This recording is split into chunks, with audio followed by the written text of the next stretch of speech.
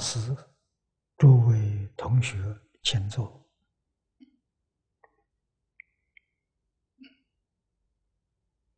请坐啊！净宗学会这个名称呢，是早年。夏莲居老居士提出来，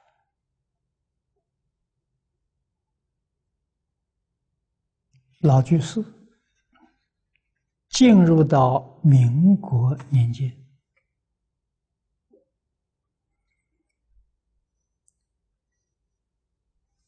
与国外关系接触多了。所以，这个学术界里面都推崇西化啊，接受啊这个外国文化的洗礼啊。那么，对于中国这个传统，我们佛教的这些称呼，一般人。都认为这是迷信啊！就中国古圣先贤讲：“名不正则言不顺。”啊，所以有正名的必要啊。中国自古以来叫联社啊，那么把联社换一个新的名词，叫敬宗学会啊。我觉得他这个提倡啊。很好，啊，我想大家都很能够接受，但是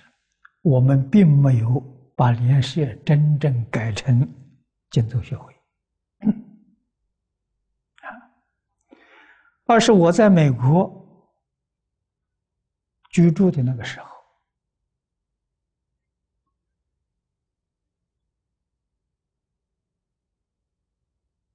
华府佛教会啊，那个时候他请我做会长，邀请北京黄念祖老居士啊到美国来传密啊，黄念祖上师。那么同学把这个意思告诉我，我就劝大家。佛法贵一门深入啊！我说我们修净土的啊，我们对密宗尊重啊，最好不要啊学杂了啊！我就建议他了，不必要紧啊，我们一心念佛就好。过了一天之后，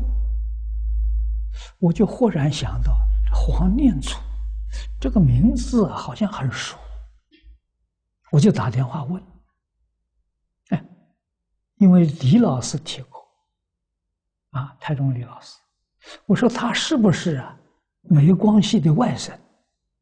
下联居的学生，他们回我电话，他说是的，我说那是的，赶快请，啊，他说为什么呢？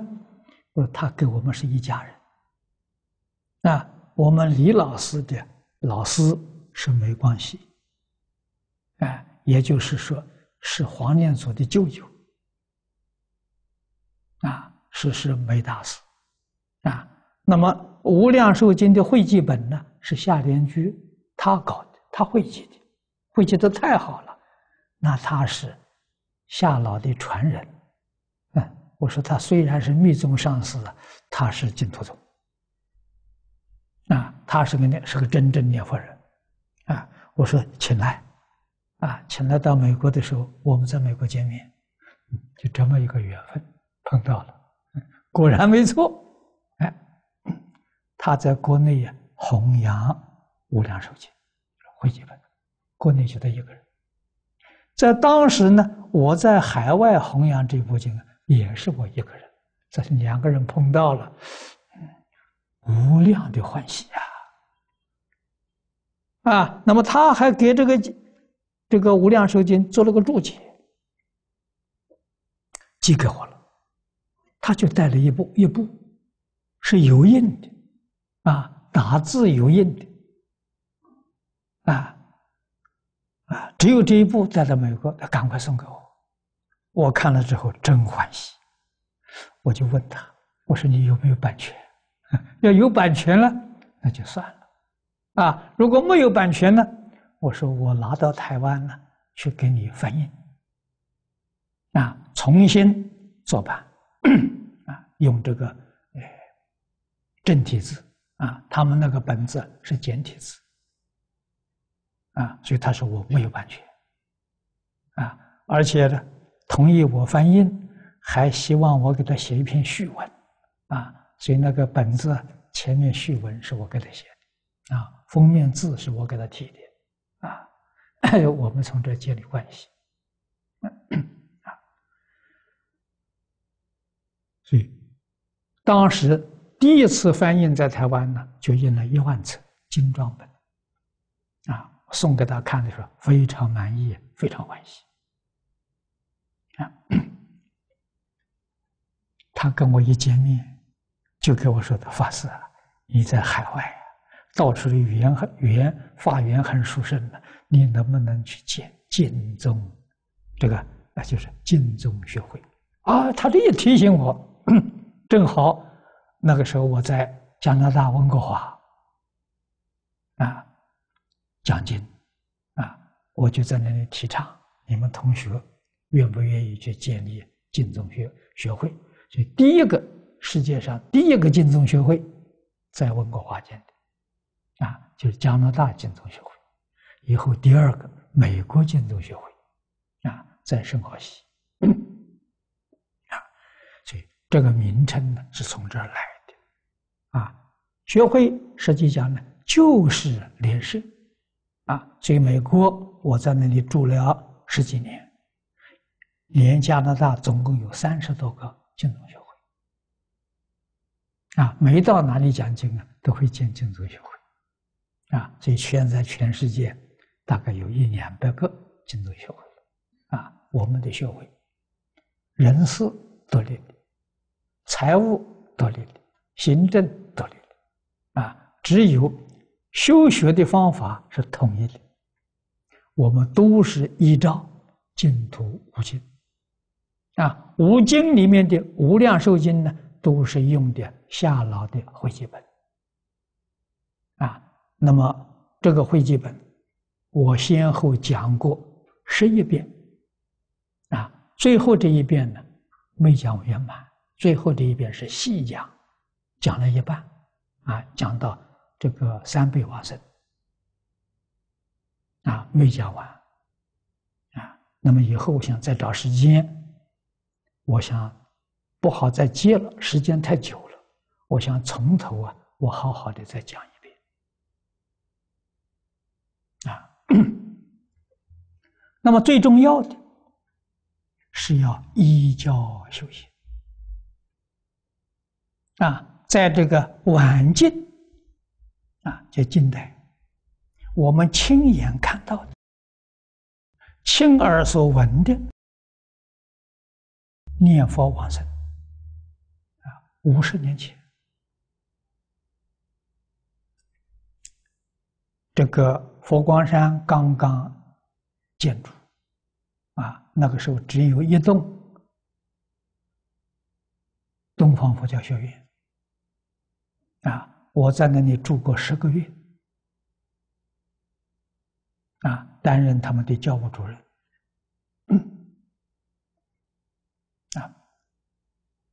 佛光山有长工，他的工程呢太大了。啊，有长工，一年到头专门替佛光山工作的。将军乡有一个工人，有一天晚上给我们同学们讲个故事。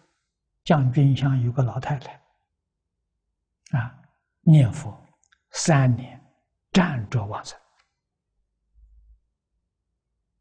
他们是亲眼看见的，啊。那个时候，他说大概就是前一两年的事情亲眼看到的，念佛是真的啊，不是假的啊！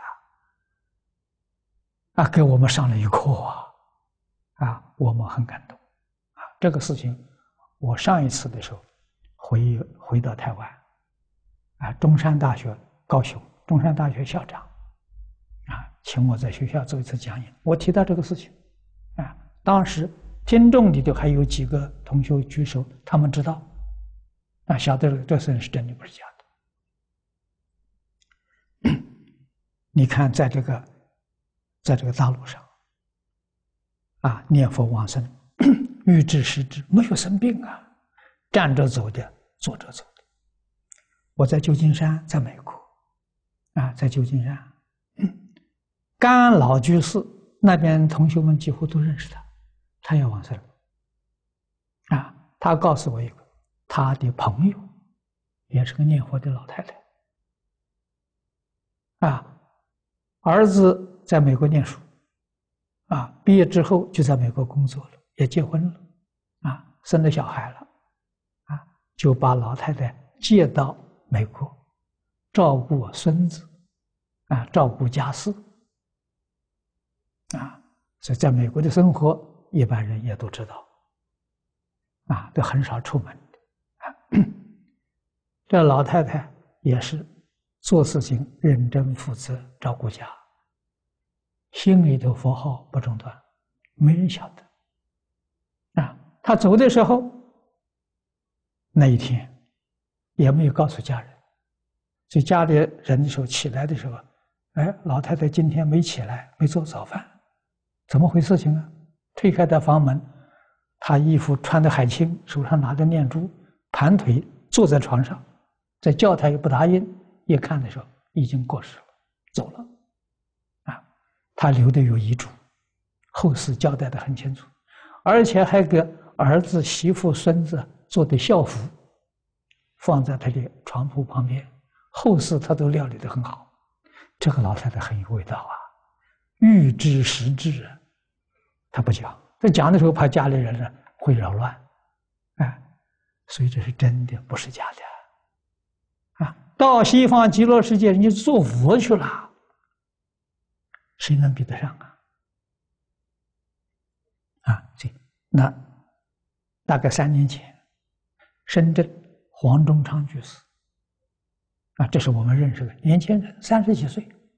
啊，他做实验，他说这个他听听我讲经，啊，听到这个念佛三年就能往生。他说：“我试试看，啊，他闭关，向小弟给他护关，啊，两年十个月，还差两个月，就是满三年，他预知时至就走了，啊，向小弟给他处理后事，火化烧出的舍利，啊，建了一个塔来供养舍利，真的不是假的，没有生病啊。”啊真放下了，啊，彻底放下了。所以今天在这个时代，这些人现身说法给我们看，做正转，佛家三转法轮，这是事先做证明来给我们看。我们如果再懵懂，再要不觉悟啊，那就没法子了。啊，所以现在要正看。为什么现在这个这个世界灾难很多？啊，尤其是这个这个国际世界卫生组织发表的瘟疫，啊，这一次的瘟疫很严重啊。这是上半年来的轻，很温和，这是下半年、明年非常严重。啊，世界卫生组织发表的时候，这个信息啊，我们看到了，这大概将来这个瘟疫的会传遍全世界，啊，会有三分之一的人会感染。啊，三分之一多少人呢？二十亿呀！世界人口六十亿呀，三分之一二十亿，二十亿人会感染。就是感染的时候你不知道，不知不觉感染，一发作的时候就没救了。你说这个东西多可怕！啊，现在我们有这么一个法门，把外面放下，一心念佛，我们就不会受这个灾难。纵然受这个灾难，我们就到极乐世界去了。我们没有任何留恋，你说多自在啊，所以不要啊留念呢这个苦难的世界，在苦难的世界里面说，我要成就自己，要帮助众生，帮助众生最好是做样子给人看啊。所以这个净宗学会成立二十周年，希望有几个好榜样，给社会大众看看，念佛是真的，不是假的。啊，那现在时间到了。我就以这个供养大众，啊，与大家共同祝福二十周年纪念，谢谢大家。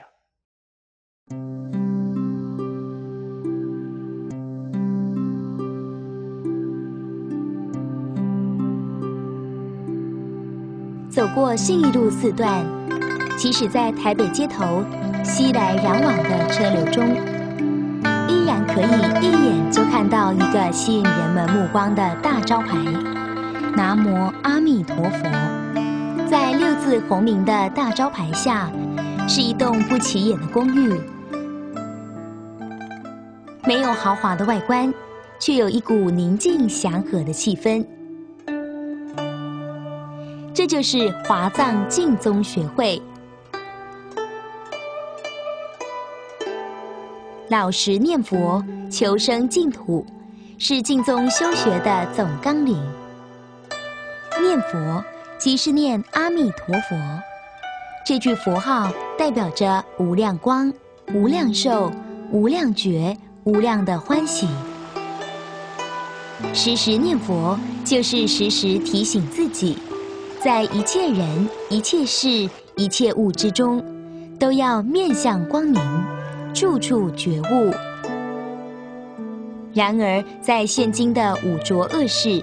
要时时保持清净心，并不是一件容易的事。念佛堂的设立，便是依靠众人的力量，透过大家在一起念佛、读经、听经，帮助我们把佛号提起来。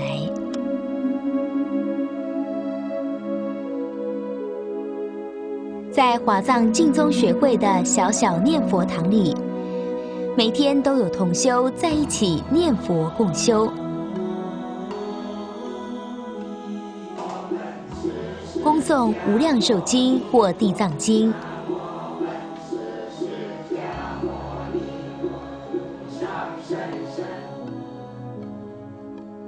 每周四及每周六也有《弟子规》研习的相关课程。是大众言教修行的好场所。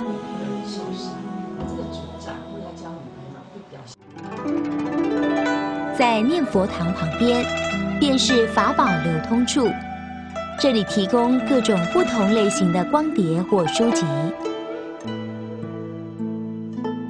有经教义理类、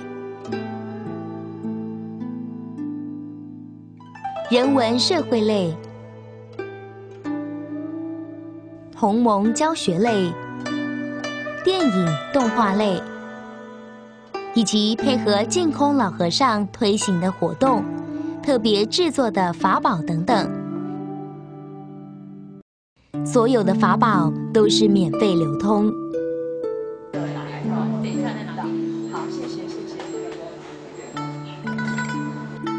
除了影音光碟及书籍之外。学会设计及印制的精美结缘饰品、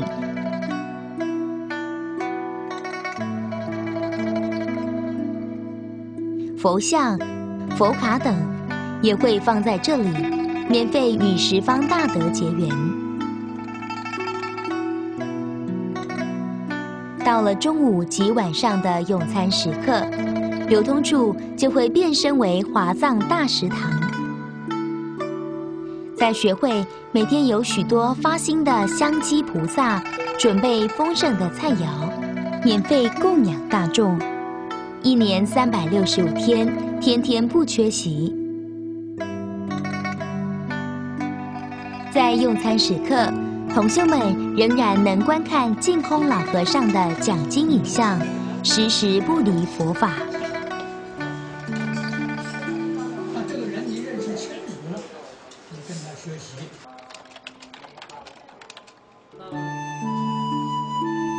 多元方式制作流通净空老和尚及当代诸善知识的影音光碟或书籍，是华藏净宗学会的主要业务。目前，老和尚讲演的总时数约有一万四千多小时，如果包括其他法师大德，则约为两万多小时。要将这些讲演内容转换为光碟、书籍或网站资讯，必须先将声音文字化，而这项工作是由华藏听教组的同仁统筹负责。为了确保文稿的正确性，每一份讲演内容在打成文字档之后，都经过一校、二校、三校及定稿的程序。经过听教组人员听打及校对好的文稿，是日后出版图书重要的依据。例如，讲演文稿校对完成后，讲记组或出版组的同仁会应时应机，依照特定主题，重新顺文整理编写，再出版流通。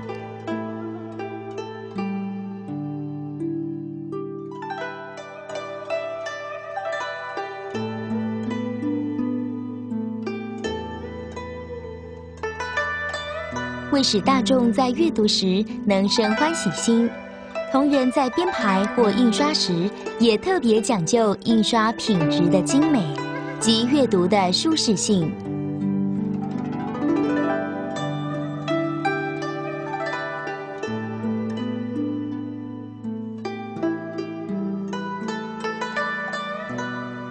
听较好的文稿有第二个用途，就是作为影音光碟的字幕。首先，在听教稿还未完成时，后制组同仁必须先进行母带的截取，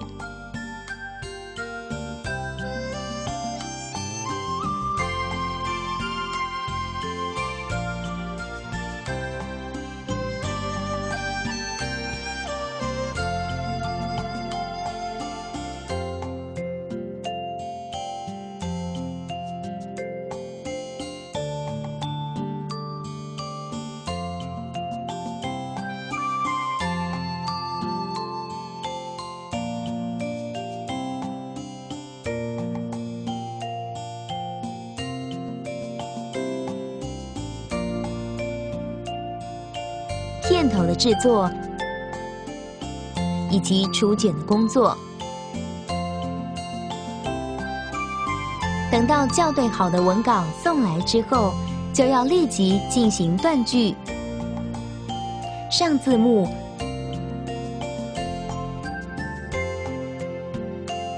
和旁白等的工作。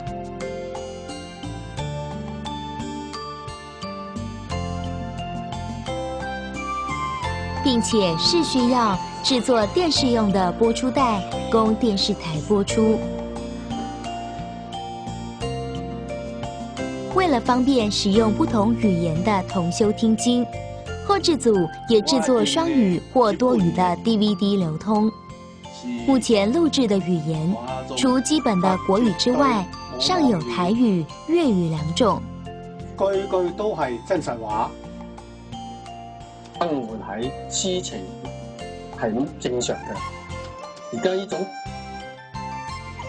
也是啊，最近即个世纪以来，科科教人竞争。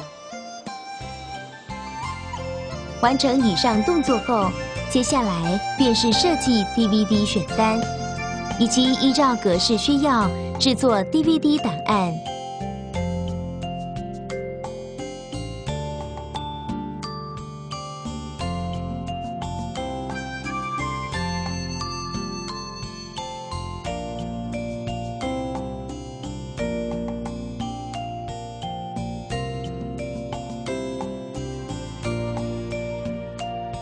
完成好的档案，先交于厂商烧录母片，交由验片人员进行严格的审核，以确保每片光碟都是母片的高品质。即使经过翻录，画质画面仍然保持清晰亮丽，绝不失真。由于制作流程繁复，需要花费的时间也较多。以一片八小时的 DVD 来说，从过片到完成验片，最快也需要花费一个月的时间。因此，如何保存这些影音资料，也成为后制组的一项重要工作。需要保存的影音资料主要有两类：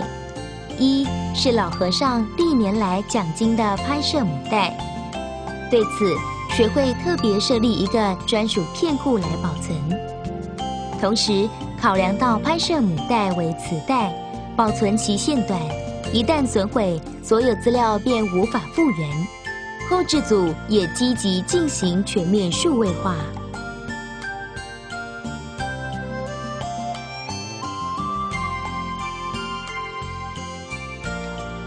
另一种需要保存的。便是已制作好的影音档案。目前后制组除了以储存硬碟的方式备份外，也将制作好的影音档案分段烧录成光碟片，并复制多份寄至相关单位保存。此种做法除了能达到资源共享的目的，也可以降低资料损毁或散失的风险。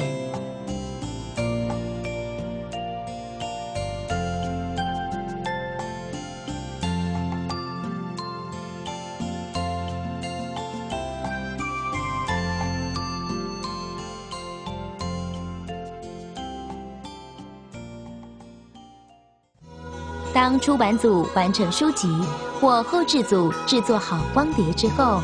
接下来便是法宝的包装、寄发及运送。只要是最新完成的书籍或光碟，法宝组同仁一定会寄送给全世界各地的净宗学会，免费供养大众。除了主动寄送法宝之外，法宝组也接受国内外各地同修或单位。委托制作法宝的订单，此外包括法宝的储存、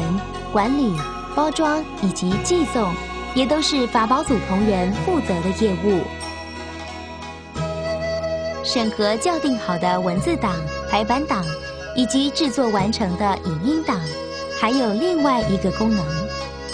就是经由网络供大众点选观赏或下载。目前。学会已架设的网站有净空法师专辑网站、儒释道多元文化教育网、佛陀教育网络学院，以及华藏净宗学会网站。每个网站各有不同的任务及定位，彼此可相互连结。专辑网站是以老和尚相关的资讯为主。包括所有讲演影音档案、文字内容，以及老和尚的生平简介、照片、墨宝等。为使同修们能够同步收看到老和尚最新的讲演，本网站亦提供网络直播的功能。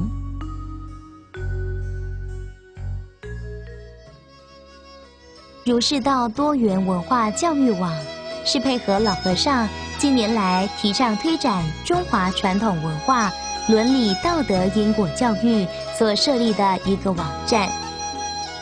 为了让更多民众能够认识、学习儒、释、道这三个根，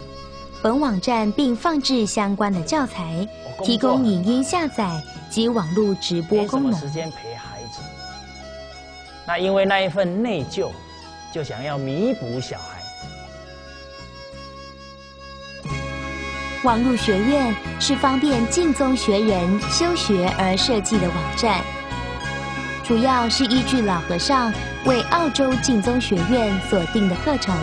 规划相关的网络学习网站。本网站并提供影音、教材以及网络电视节目播出。目前网络学院的学生人数已达一万七千六百零九人。华藏净宗学会网站则是学会对外的联系窗口，主要提供学会的简介、最新活动资讯，以及老和尚及悟道法师在慈悲台播出的节目表等。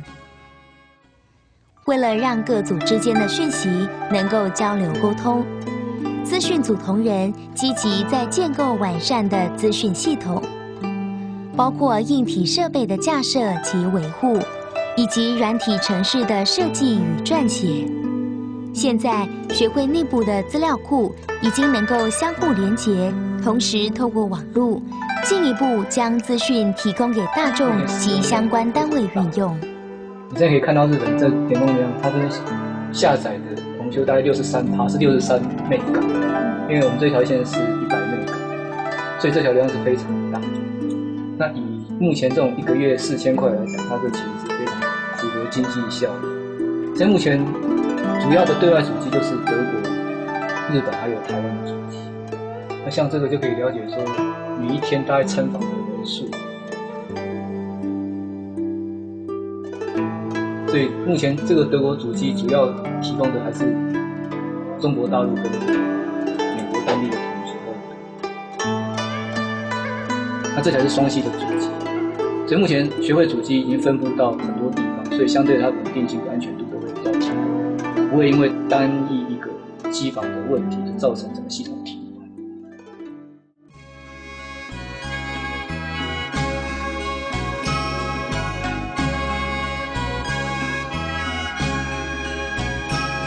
藏净宗学会立足台湾，放眼世界，让我们一同携手同心，共同使正法流布世间。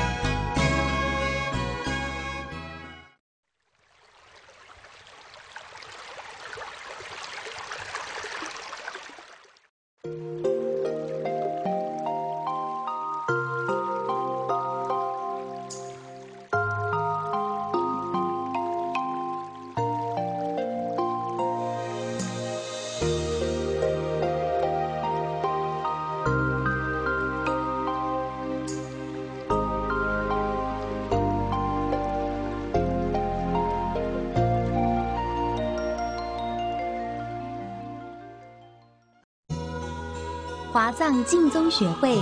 成立于西元一九八九年，为一专修专弘净土之组织。净宗学会的概念始于二次大战期间，由下莲居老居士所提倡。本会导师上净下空老和尚深知净土法门之殊胜微妙，为弘演正法，便利大众修学。于是，老和尚将夏朗居士的构想化为行动，在韩英馆长的护持下，于景美华藏图书馆原址成立华藏净宗学会，并加入中国佛教协会。我们今天提倡的净宗学会，净宗学会这个名称是夏莲居老居士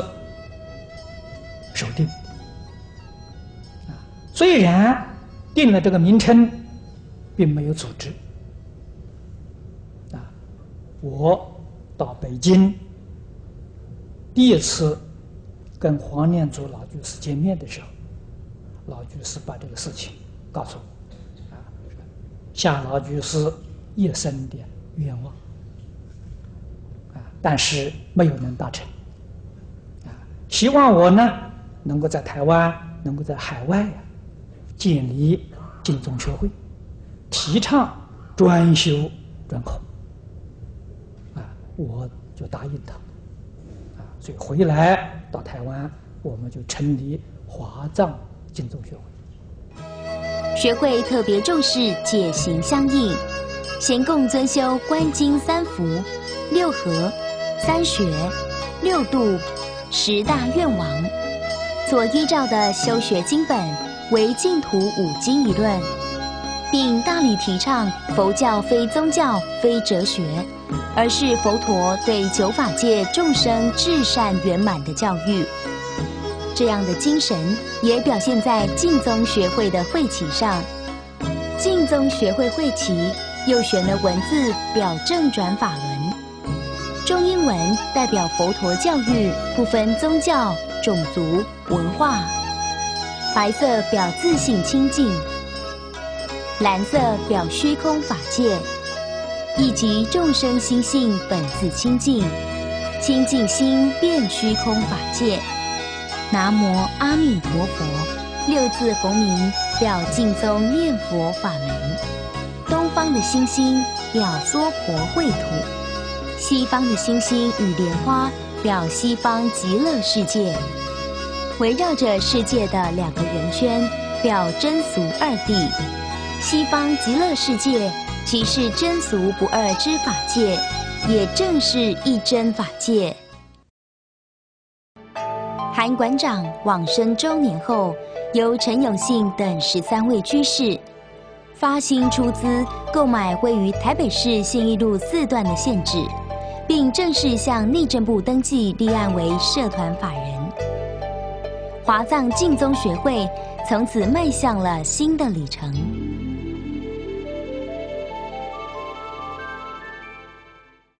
华藏净宗学会的缘起是在过去台北景美华藏佛教图书馆成立啊，大概五年之后。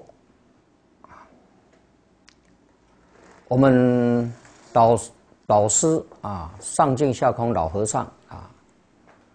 也是我们恩师啊，给我们大家讲《佛说大圣无量寿庄严清净平等觉经》啊，下莲居老居士汇集本。这个经讲圆满之后呢，呃，韩馆长这个。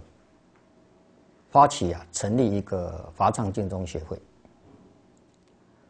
那么地址呢，就是附设在华藏佛教图书馆。啊，韩馆长是一九九七年往生的，到了九八年，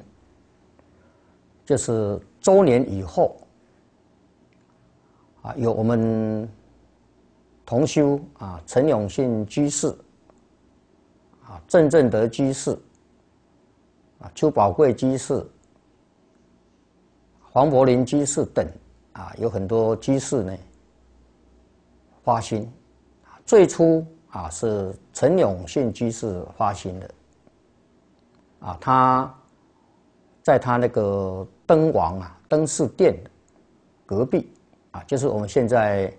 这个学会的二楼啊，这是最早的一间房子。陈永信居士啊，他就要发心了，他要想找个地方啊，给老和尚。啊，也有一个因缘，老和尚来他这个灯王那边，就是大家开个会，啊，一直想要找地方，刚好隔壁那个二楼啊说要卖，啊，陈陈居士就很发心了，他就要去卖啊，啊，卖要找功德主啊，功德主也很多啊，那当时。我自己个人啊，我也很庆幸的能够参与这个福田，啊，这个这个布施啊，我本人呢捐了五十万台币，这对我来讲是一个蛮大的，因为我是一个小小公务人员哈。那陈永信出最多，他一半，啊，他真的是大菩萨视线哦，来扶持老和尚，啊，要要成立全国性的华藏净宗协会，就中华华藏净宗协会，那这样就逐步逐步的啊推动。推动以后呢，啊，当然这个过程里面很艰辛啊，有些东西呢，啊，真的是不足为人道。可是我那时候就一个念头，就是有一个毅力，说我一定要帮老和尚推动成立。嗯，我的心就是一直想说，我只有一个愿，希望能够成立，一定要成立，就这样子。啊，希望成立了能够让老和尚的话这么个殊胜，可以让更多的人。可以更能够闻到这样的殊胜的净土法门，就只有这个心了，没有其他的，就就是只有一个想说，让他一定要能够很顺利的圆满。华藏净宗学会迁至信义路后，会务发展皆从头开始，同时也面临了许多考验。当时出家众啊，不是只有我一个。还有庄贤法师，啊，也就是我们成立社团呐，第一任的秘书长，是我们两个人啊，我们两个人呢啊，这个从这个社团呐离开图书馆之后，那么从零开始啊，可以说一切从头开始啊，在这个地方啊啊，在成立一个我们正宗。啊，弘法的据点。当然了，万事起头难，啊，所有的事情呢，一开始呢，难免有它的困难，啊，这个是必然的。但是我们得到诸位在家出家啊，护法同修大家大力的扶持，啊，得到我们恩师净老和尚的加持。啊，虽然呢有一些困难，啊，也都很顺利的这个排除了，啊，也在种种的一些困难障碍当中啊，不断的成长。那时候真的是很困难，因为那个时候收据也是只有就是用用打字的，然后影印，不是一个正式收据，但是就是要给对方知道说，我们真的把这些钱是用在。道场上这样子，从我们成立的时候呢，啊，确实，呃，真的是从零开始，啊，那时候啊，真的可以说是呃，我们啊，要人没有人，啊，要呃这个财力物力通通没有，啊，那时候啊，只有刚刚悟道法师有讲过。啊可以说，啊，老和尚呢，啊，送给悟道师一个非常珍贵的协助，把这个道场成立起来的一个啊，这个庄行法师。当时的感觉说，我们华藏是有前途的，啊，我们是可以往前面走的，所以当时的。架构设计的都是一个一个呃比较中等的啊，就是设计有个中层、远程啊，近程当然没有办法，很少人很少。我设计是个中层，还有一个远程的，哦，但是当时还没有这么多人手，他们也看不看不出将来将来华藏会演变成什么样。但是我我有自信，将来华藏是非常有发展啊，这个不出我所料。十年之间，你看发展了这么大的规模啊！呃，这个是呃，当时我们都看得出来的啊。想起来这样子一路走过来哈，哎，比较困难的，好像是每次老和尚有一个任务给我们的时候，但是我觉得好像哎都有佛力加持吧。每次很重要的任务呢。那都有你们一群这么好的同伴在旁边，都帮我分担呐。我我现在一下也不觉得哪一件事情是特别困难。在第一任理事长悟道法师的带领之下，以及护法们无私无我的发心护持，同修们天手知足，共同努力，一点一滴的将学会建设起来。真的，这个地方是。唯有讲回来，圣灵师物真的很辛苦，真的是。诸位大德的辛劳，还有悟道法师的辛苦，那今天总算我们这十周年走过来啊，像是华法啦，啊一些的很多的这个啊老和尚的那个经典法法流通，不不计其数。也要非常谢谢，就是师父。跟严师呢，他们在世世界各地弘法，然后也都是为了要让华藏这个弘这个弘法的这一个组织呢，更向前迈进。我每次看到，呃，这一个悟道法师以及各位李监事的努力，大家的扶持，不管在法宝流通那个量啊，真的是很意外。如果没有三宝加持，没有阿弥陀佛加持，哪来这么大的福报？啊，可以在短短从十年之内变成一个这么广大的一个专业的弘法单位。悟道法师秉持着导师净空老和尚的教诲，本着慈悲精进的心，于担任理事长期间，不遗余力地弘扬净土与推动会务，制作老和尚讲演的光碟及编写成书籍，流通全球。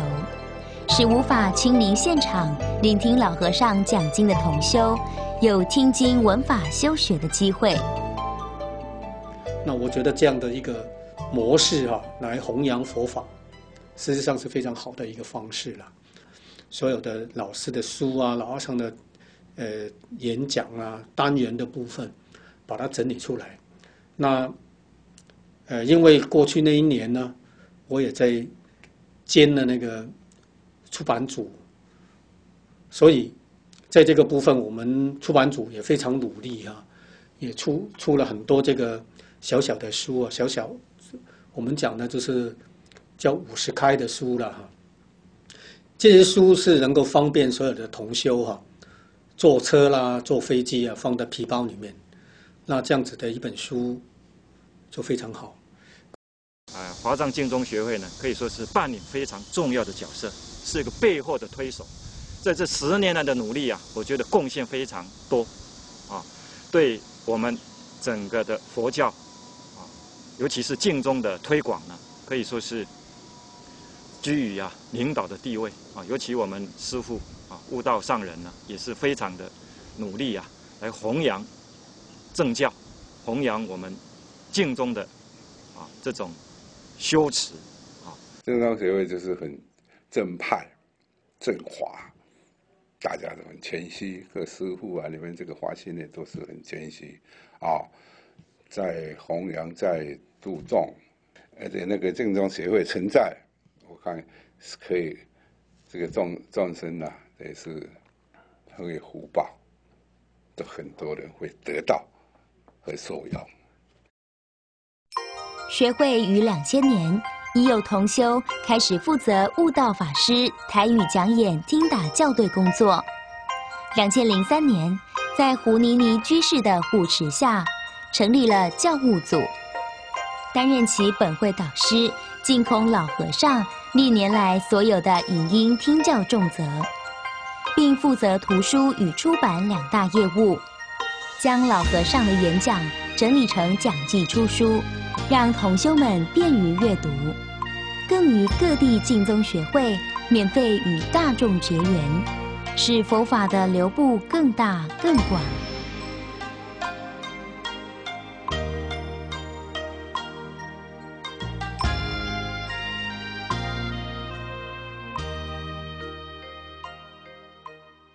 这些法宝已经现在流通到全世界，这是大概应该是。空前吧，过去是没有这样的一个单位可以提供这么多的法宝，这是我们非常的感觉荣幸的一个地方。这是我们楼上师傅的领导有方，先让我们一般社会人士都可以在这里吸收到很多的佛法。华藏哦，全部都是赠送的，哦，按互人感觉这个所在吼，来，这法宝出来的，互人感觉也心量足大，全部都是免费的，所以哦，咱家来听的人愈来愈多，啊，就愈会收报来，哦，甚至家己头一遍是摕伊听，后边来吼，就两本、三本、五本、十本安尼摕，就愈报愈快。啊，师傅。到世界各地去演讲的，啊，录音啦，哈，录影像啦，哦，录音带啦，都是我们华藏竞争协会来负责做法宝，制作法宝的那种规模、专业以及那种设备啊，实在是让我们令人相看，实在是可以说是不同凡响，而且呢，这种。免费供应的精神与雅量，哈，实在是让各建中学会可以做各敬宗协会的一个楷模。把法留下来，把法散出去，那我想这个是我们华藏最大的一个一个使命，也都达成了。而且我们最终就把和尚讲经呢，马上变成这个经书，啊，因为有些人喜欢看经书，有些人喜欢看 DVD，有些人看影像的。我想这个在华藏就是应有尽有，什么都有，你要什么华藏都能够，华藏都能提供。所以我想这就很不简单。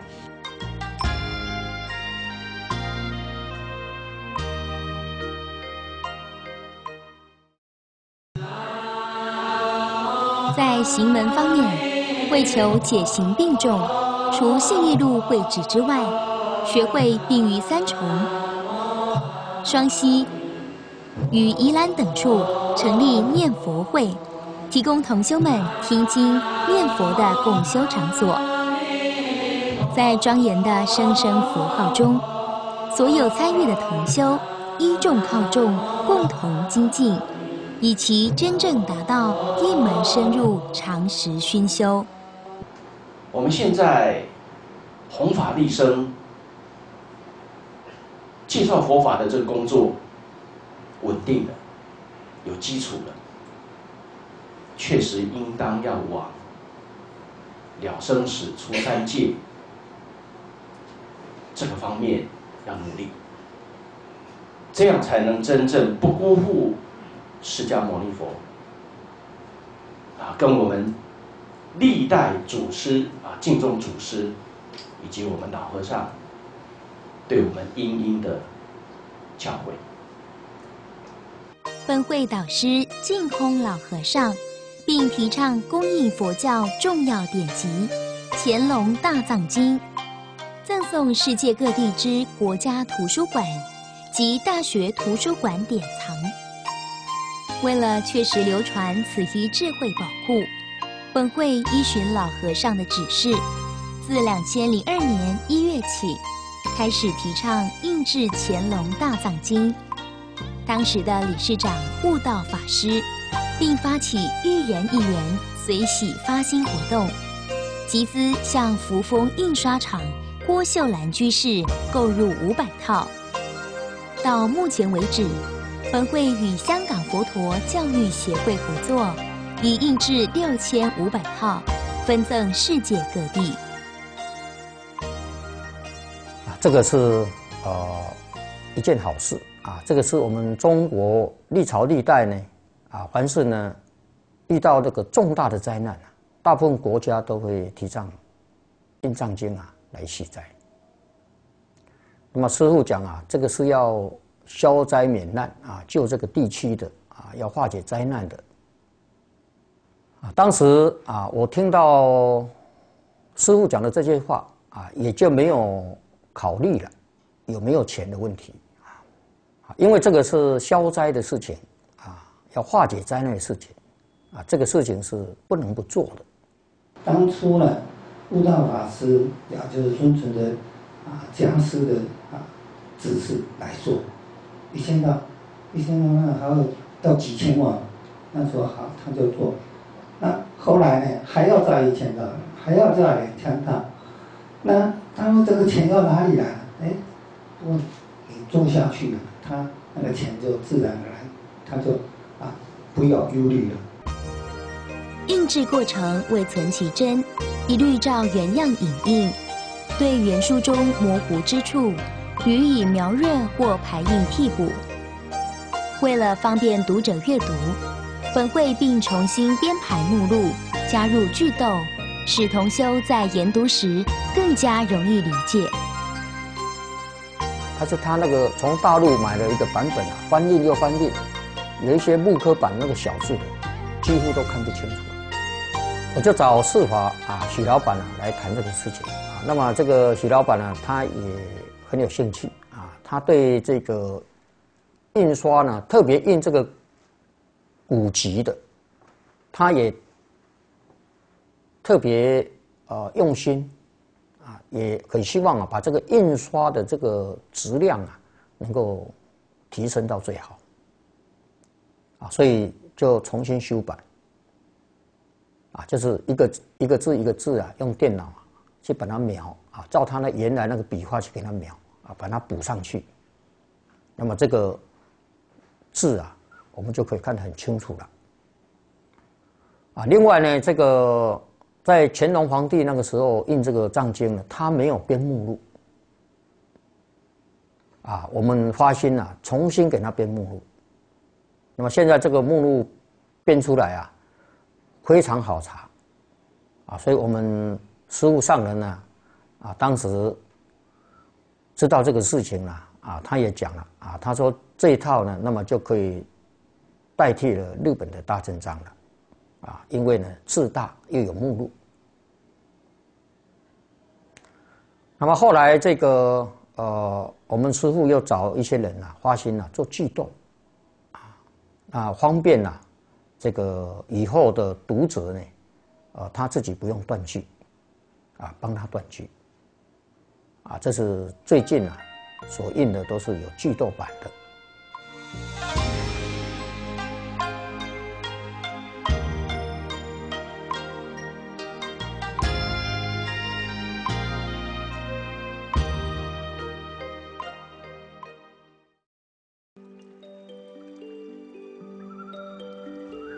早在景美图书馆时期，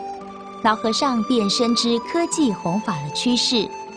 若能善用媒体传播力量的无远佛界，创造客厅及道场，法音变法界，便是其理想的实现。本会于两千零二年开始制作悟道法师台语字幕，制作播放带，提供于各佛教电视台播出。两千零五年，负责老和尚宣讲之《华严经》影音后制工作，并于两千零六年担任起制作老和尚 历年来所有讲演影音的重要工作。师傅是个现代人，应该是最现代、最先进的一个想法。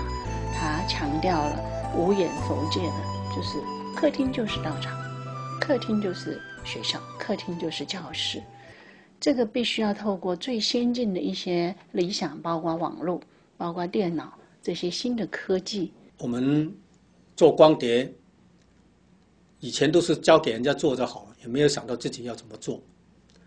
那后来有一次，人家跟我们讲说：“哎，你们为什么不做？因为做一个光碟的母片啊非常贵，那一套经下来，那个时候 VCD 都是一两百片的那个光碟啊，那就非常贵。”所以我们就想到，哎，这个事情能不能自己做？那也是这样的一个因缘。那我们后置组从一个人、两个人开始啊，一台机器开始慢慢做，慢慢做。二零零六年，我们华藏后置组呢，承担了一个很重大的一个任务，就是老和尚所有历年的录音带、录影带、拍摄带，还有字幕母带。全部呢要到我们华藏这边来保存，而且我们学会呢要把这些袋子全部转成数位化，以妥善的保存。那这项工程是蛮浩大的，因为截取都是要一比一的时间去做。那这些袋子都是已经有十几年了，好都快脆掉了，所以我们卢居士他就很担心这些袋子啊。那我们后置组接到这个任务也是去买 DV can 啊，Digital Beta can 啊，购购置这些机器回来，然后就拼命的过代，然后过到现在也也差不多了。发展至今，华藏净宗学会已成为老和尚影音弘法的主要后勤单位。为了追随老和尚教学方法的与时俱进。影音数位化、流通多元化以及制作精致化，成为华藏致力从事的工作指标。如今，华藏所制作的法宝已流通全世界，并且受到广大的好评。华藏啊，净宗学会在全世界啊啊，那么帮助各地净宗以及各个啊佛教道场。包括这个我们啊，这个啊华宝的流通啊，啊还有啊师傅啊这个奖金能够在网络上啊，用最新的科技啊，能够把它传播出去。那么我相信呢，在啊过去我们所做的成就里面呢，我是觉得在这方面啊，我看到的这个成绩啊是啊最受大家所赞叹的。这真正是科技呢带来给咱人类真大的方便，咱也要一定要珍惜，珍惜这个这方便的工具呢，和这个这么好的物件，这么好的宝，会当流通出。咱希望所有有缘的众生，伫虚空法界苦难的众生，拢会当听到这个法，会当呢出离六道。道德教育方面，配合老和尚所提倡之恢复中国传统文化，学会同修以身作则，每日早晨读诵《弟子规》，提醒自己能在生活当中落实《弟子规》之教诲。学会并于各地举办了由蔡礼旭老师所主讲之幸福人生讲座，采用《弟子规》读本作为教材，广邀社会大众共同参与学习。个人修学来讲啊，啊，我们师父上人他提倡的这个《弟子规》啊，《太上感应篇》啊，《十三业道经》啊，这三个根啊，儒释道啊，是我们。不管在家出家啊，职工义工啊，大家呢是共同要来学习的，啊，这是我们的根本，啊，这个是最重要的。这些基础科目呢，师傅最强调的就是要做到，啊，他不是只是叫你讲，他是要做的，啊，所以我是觉得说，啊，我们现在呢最重要是要去落实它，啊，所以我们跟在身边有一个好处就是。啊，我们啊师傅也所表现出来了，就来印证啊，我们在这个学习方面的这些经教啊，啊，做给给我们一个最好的证明啊，最好的学习的榜样。华藏本身就是星期四啊，星期六的晚上，好下午都有班。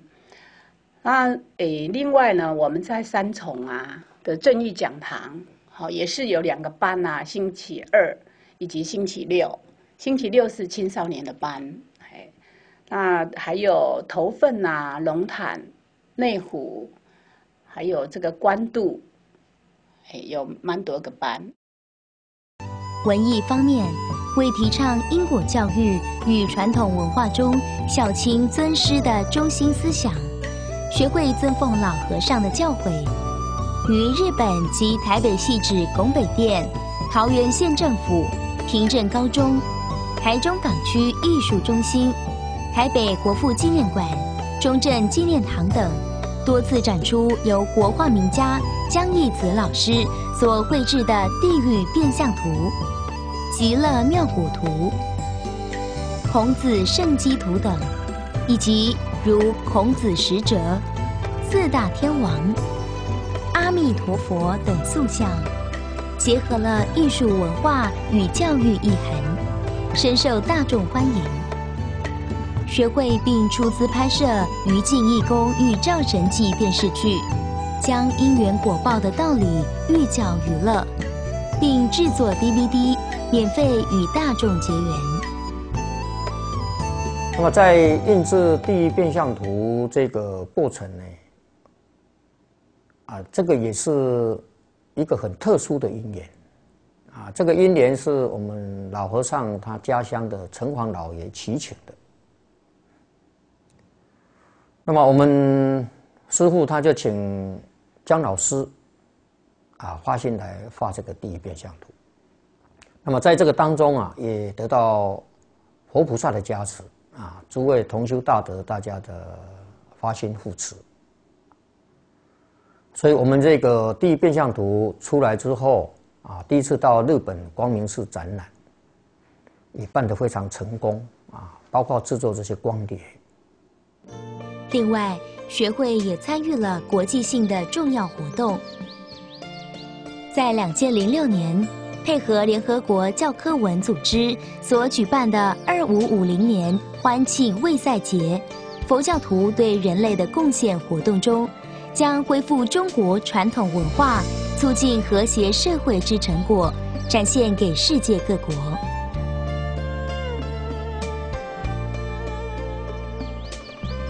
所以我们在啊巴黎呀，我们也赠送了一百九十二套的龙杖，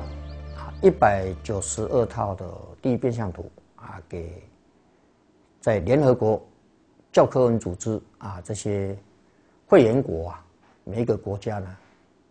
一套啊。那么这些工作呢，我们都是做后勤工作、幕后工作的，啊，所以大家都非常的辛苦啊，啊，也非常感谢大家呢，这些年来这么大力的支持，啊，在做的过程当中啊，也得到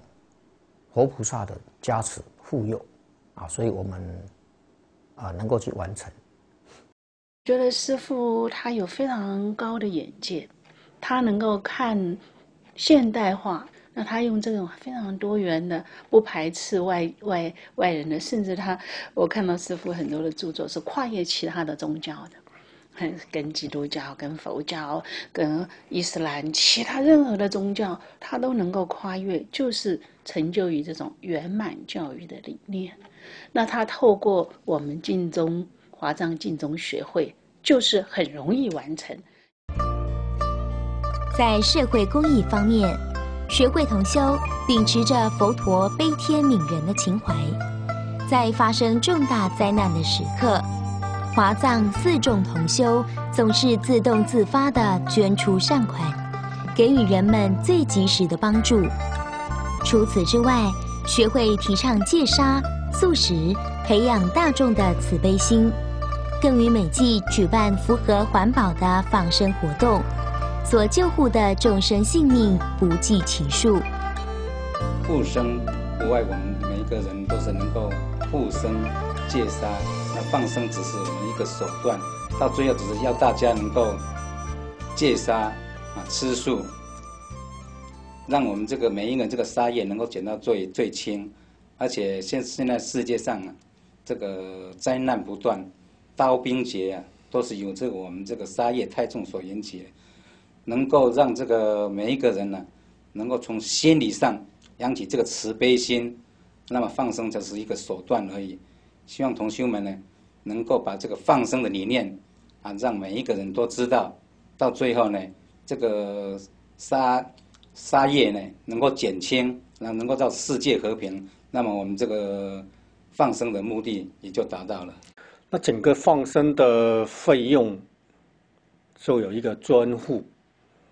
所收到的赞助款，除了正常的放生的支出以外，那我们也有一个专款专用。那今年度因为我们的卡通也画好，画好了以后，所以我们就整个呃结余的费用呢，我们就制作这个卡通哈。来跟全世界的金钟学会结缘。为了响应老和尚所提倡之护国息灾理念，学会每天在念佛堂同步直播由悟道法师主法的山东金山寺百期护国息灾三十系念法会。那么我们这个法会呢，是四月二十五号开始，啊，这个二零零八年四月二十五。开始啊，从庐江实际禅寺开始做，到二零一零年三月二十五日，那么这个七百天才圆满啊。那么在做的过程当中呢，我们做到五月十二号，那么果然呢，四川有大地震了。那么我们相信呢，啊，对这次灾难的减轻啊，也是有一定的帮助。啊，但是可能，哦，还不是很明显啊，因为呢，我们法会才做了十八天，啊，做了十八天呢，这个灾难就发生了，啊，如果这个法会呢，如果更早做啊，可能灾难会更降低一些，啊，啊，这个也是我们可以肯定的。每月定期于三重正义讲堂、善果林净土寺举行三十系念法会。近年来，更于台北国际会议中心、国军文艺活动中心等地举办千人大型法会，让更多的大众能够参与此一殊胜国事。学会法师每年也应香港佛陀教育协会、新加坡净宗学会以及各地净宗学会之邀，前往主持三十系念法会。我们在外面所有的三十系念法会，那悟道法师他有指示下来，所有的费用的支出哈，那如果是经费不够的话，那就由华藏经中学会把它补足哈，补足。那剩下来的费用扣除了所有的支出以后呢，那就全部拨进到呃制作法宝的基金里面，那就制作法宝。那这样子的话，能够从帮忙我们参与这个法会的同修，他护持我们整个的那个法会，那能够呃让我们有一个超荐我们啊我们的冤亲债主，我们的祖先也有能够帮忙大家能够呃祈福消灾，然后呢又能够啊制作了法宝。然后跟所有全世界的莲友能够结算结上一个非常深的缘哈。三十系念功德利益，遍及虚空法界，祈愿正法磁场能化解世间灾难，带来和谐安康。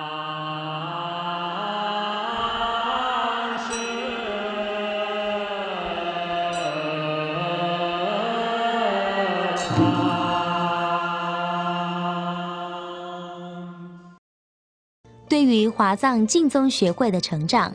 同修们皆有目共睹。如今，学会更成为了推广佛陀教育不可或缺的弘护单位。我们社团啊，成立之初，也得到很多同修啊来发心啊来支持啊，一直发展到今天呢。啊才有这么一个小小的规模，啊这些都是呃大家的功德啊，这个成就啊啊，绝对不是一两个人的啊，是要大家呢同共发心的。只能说是佛菩萨安排了，并没有说我们刻意需要说，哎，我要想要做什么，我要成立什么组别。那我想，这个就是，也是华藏金融学会到今天为止哈，呃的走的方向跟它的那个顺畅度哈，也是这样子的组别成立，就越来越顺利。目前可以讲说，每一组呢比较能够诶达成共识，然后大家都很用心的要把这一块做好。那我相信呢。应该我们会用这个资讯呢，把和尚的这个法呢就这样传下去。我们是我觉得我们大家都有这个信心呐，哦，一定会把它做好。华藏净宗学会在这边大力的以老和尚的法宝、老和尚的讲经、录影带、录音带及后续做这些这些数位的工作呢。都是由华藏建中学会后置的一些法宝供应，非常不简单，个人也感到非常的敬佩。那讲起法藏建中学会呢，我就满心的欢喜，因为十年了，真的看他从无到有，到发扬光大，这是非常不可思议的一个发展过程跟奇迹。只能说，我觉得是老和尚的福报，大家常住师父及护法的努力。最重要就是阿弥陀佛三宝的加持。所以咱净宗学会二十年来，一直咧将持这个法宝流通，将持种种的。啊，这个佛这个法宝的啊制作流通，有真正点点伫后壁咧做，人讲幕后的工作人员，付出伊的精神，付出伊的时间，这个精神呢，啊，伫咱赞叹。啊，希望我们能够在这个华藏敬宗学会以及师师傅以及师公的啊领导之下呢，我们能够走到正轨，而且呃在修学呃道业上不断的提升，不断的成长，呃能够协助各地的同修啊一起一起成长，而且呃也能够呃如愿以偿到极乐世界。谢谢。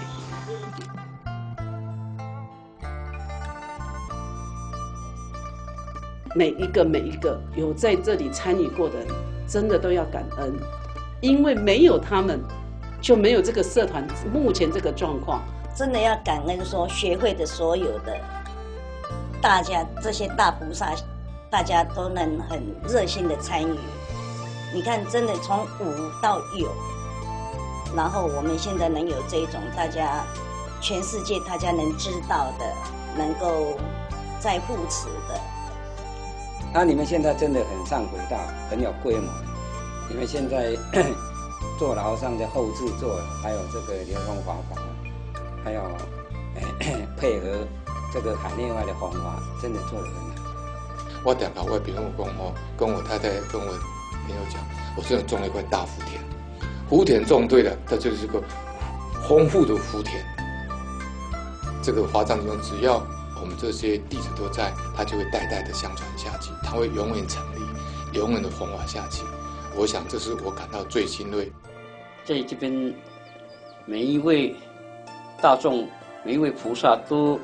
在努力做老和尚的光碟，流通世界每一个角落。这样的单位，在目前来讲是比较少。我说啊，那边有一群工智慧工作者，他们就是就是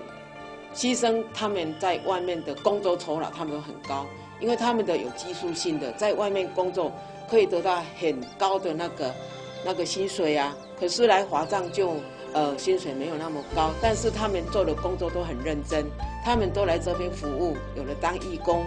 他们因为知道这个法真的太好了，所以他们就。自愿来来这边，在这里的所有一切众生，感谢老和尚，感谢华藏的成立，真的很多人受益，受益，真的真的，大家都很高兴。归纳成，好，到华藏来以后，呃，几个年头归纳一句话，就是感恩，感恩大家，哎，那都感谢大家的支持，那也谢谢大家。这样来啊拥护啊护法啊，让我们学会呢啊，不管在这种啊拥护护持老和尚的弘法的弘扬啊，法宝的流布啊，乃至于。现在提倡《弟子规》的教导，大家都尽心尽力，真的做的越来越啊上轨道。在这边还是深深的感谢大家。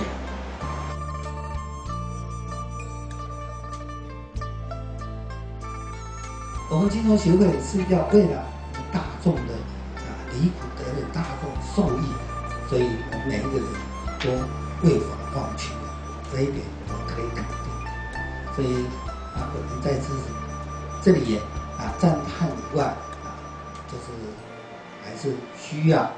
我们大家啊共同来努力啊，把我们这个老和尚的这个法宝、这个理想的目标把它完成、延续下去，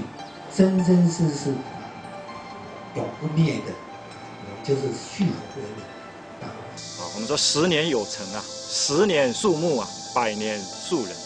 我们背后的这一棵树了，已经有一百年了。我们要学习榕树的精神，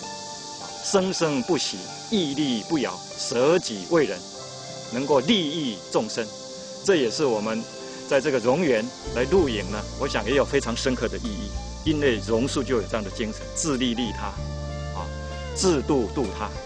让每一个人呢都能够过一个幸福美满人生，我想这也是我们学会啊推广佛陀教育、推广敬宗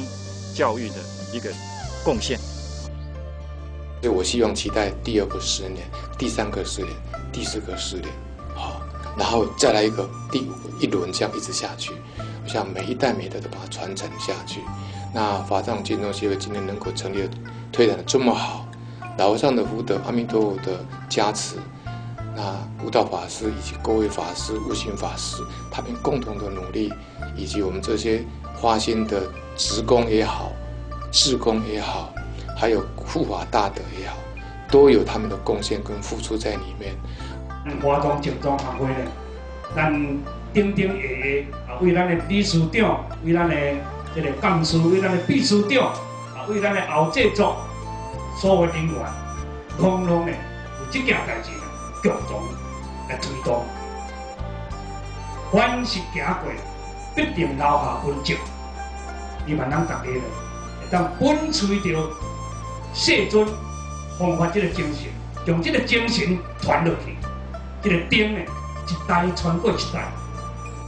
我们华藏呢，啊，现在也有很多的法师啊、大德啦，啊，都被培训出来，啊，在这个传统文化以及这个佛法的这个教学方面，啊，我觉得这个人才辈出，啊，如果真的有一天呢，啊，华藏能够啊，把这些培养出来的人才啊，啊，能够呢。啊，来安排啊，这个资源呢，全世界各境中啊，啊，到处呢，这个弘法利生。